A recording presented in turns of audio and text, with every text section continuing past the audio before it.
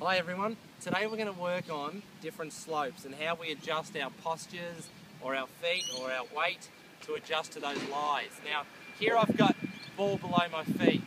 So what am I going to do? I'm going to widen my stance up so that I get my center of gravity lower and put my weight forward as well. You can see there, if you look at old videos of Seve Ballesteros, he was the best at getting his weight, he's getting his stance wide, getting his center of gravity low and his weight forward.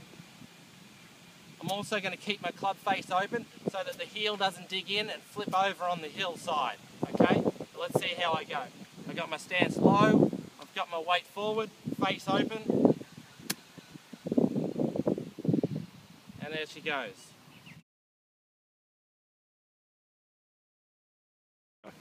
Hi everyone, now we're on an upslope.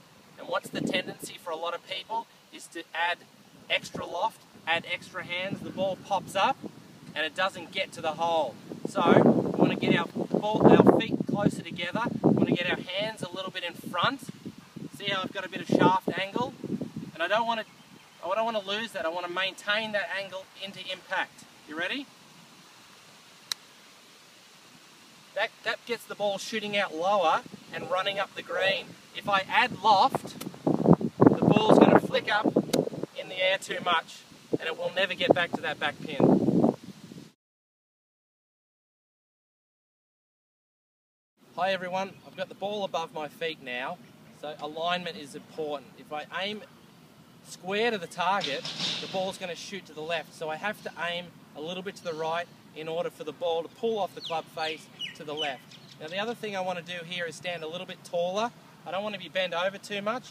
That'll cause me to get a bit steeper. I want to be standing taller so that I can move around the slope with my rotation and keep that club face a little bit open. That'll stop the ball pulling off the slope.